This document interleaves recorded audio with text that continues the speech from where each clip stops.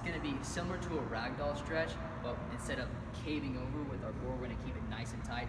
Kind of like when we're doing our deadlift or any type of Olympic lift, we wanna keep a nice flat back while we do this. Our RDLs would be another good example. So you're just gonna grab a light kettlebell, you're gonna be about shoulder width apart.